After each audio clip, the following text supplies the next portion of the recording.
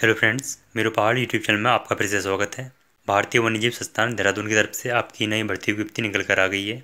इसमें जो आपकी पोस्ट आई हुई है प्रोजेक्ट साइंटिस्ट की आपकी उसमें पोस्ट आई हुई क्वालिफिकेशन आपको बताई गई इसमें। डॉक्टर डिग्री आपसे मांग गई साइंस में, या फिर वर्ल्ड लाइफ साइंस में इन्वायरमेंटल साइंस में फॉरेस्ट मैनेजमेंट में लाइफ साइंस नेचुरल साइंस में, आदि में डॉक्टरल डिग्री आपसे इसमें मांगी गई है। इसमें आपको छः महीने के लिए जॉब मिलने वाली है। लोकेशन आपको यहाँ पे बताई गई है, उत्तराखंड, देहरादून में। एज लिमिट आपको बताई गई है, पैंतीस साल तक के अभ्यर्थी इस फॉर्म के लिए अप्लाई कर पाएँगे। और साथ में S C S T OBC के लिए आपका इसमें एज इलेक्शन देखने को मिल जाएगा कैटेगरी वाइज जो आपका गवर्नमेंट रूल के अकॉर्डिंग हर फॉर्म में मिलता है।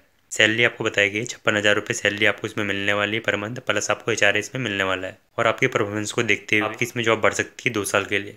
इसमें आपका कोई भी एग्ज़ाम नहीं होने वाला है, आपका इसमें डायरेक्टली इंटरव्यू बेस पे सिलेक्शन होने वाला है। यहाँ पे आपको एप्लीकेशन फॉर्म दिया गया है। फॉर्म का लिंक आपको डिस्क्रिप्शन बॉक्स में मिल जाएगा। वहाँ से आपको इसे डाउनलोड कर लेना है और इसका प्रिंट आउट निकाल लेना है। यहाँ पे आपको अपनी फ़ोटो चिपकानी सबसे पहले, जो आपकी तीन महीने से पुरानी ना हो उसके बाद आपको अपना नाम लिखना है प्रेजेंट पोस्टल एड्रेस डालना है आपको अपना फ़ोन नंबर ईमेल आईडी आपको डाल देनी है। परमानेंट एड्रेस डालना है आपको फ़ोन नंबर ईमेल आईडी भी आपको डाल देनी है। अब आपको डेट ऑफ़ बर्थ है और अपनी एज लिख देनी है यहाँ पे ईयर्स में।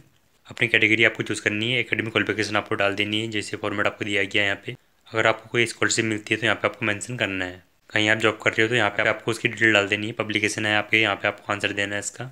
यहाँ पे आपसे कुछ पॉइंट पूछेगा, यहाँ पे आपको इसका जवाब दे देना है। यहाँ पे आपसे complete postal address reference phone number आपसे पूछा गया यहाँ पे आपको इसका जवाब देना है। कोई और इन्फॉर्मेशन है तो यहाँ पे आपको मेंशन कर देनी है। अब आपसे डिक्लेरेशन पूछा गया है, यहाँ पे आपको प्लेस डेट और अपने सिग्नेचर कर देने हैं। इसके बाद जो भी आप इसमें क्वालिफिकेशन भरोगे एक्सपीरियंस भरोगे, सभी की आपको जेरोक्स भी करनी है सेल्फ अटेस्ट करना है और इस फॉर्म के संग आपको अटैच कर देना है। अब आपको इस फॉर्म को एक लिफाफे में डालना है। लिफाफे के ऊपर आपको यहाँ पे ये लाइन दी गई है एप्लीकेशन फॉर द पोस्ट आगे आपको यहाँ पे जिस भी पोस्ट के लिए अप्लाई कर रहे हो, उस पोस्ट का आपको नाम लिखना है। यहाँ पे आपको एड्रेस दिया गया इस एड्रेस में आपको अपना फॉर्म भेज देना है।